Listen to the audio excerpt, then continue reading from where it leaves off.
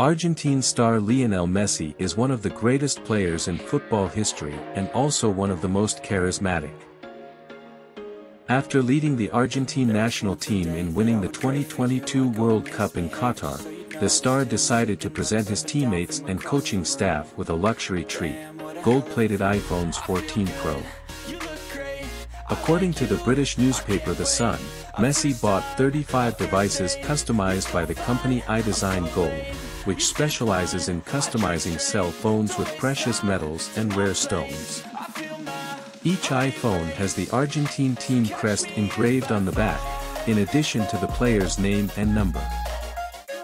The total value of the gifts was estimated at about $160,000. The golden iPhones were handed over to players and coaching staff members in a ceremony held at the headquarters of the Argentine Football Association AFA, in Buenos Aires.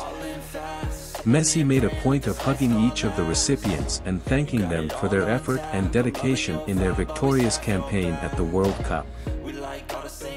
Messi's colleagues were moved and surprised by the captain's gesture, which showed humility and gratitude for the group that helped him win his first world title with the Argentine national team. Some players posted photos of the iPhones on social media and praised Messi's attitude. Messi is known for his generosity on and off the pitch. As well as being one of the greatest scorers and assists in football history, he is also one of the biggest donors to social and humanitarian causes.